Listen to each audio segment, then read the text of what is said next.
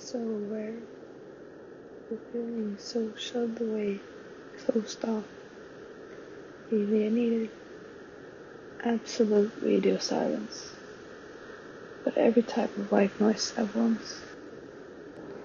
Floating in between different states of mind, but almost to no control. Moving through space and time, feeling like you're pulling yourself through mud almost getting pulled down by the quicksand. A void, a black hole, so much empty space. How can it feel so heavy? Traveling from place to place, trying to find joy. Perhaps this is where I should settle down. Or should I keep going a bit longer?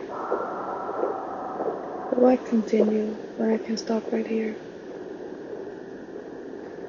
I'm doing everything I can, but everything is impossible right now.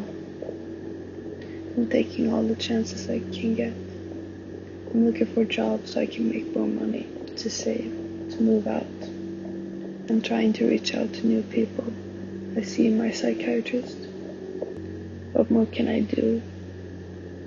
Still, I feel like weights are on my legs. People tell me it's my age. That's how things feel when you're young.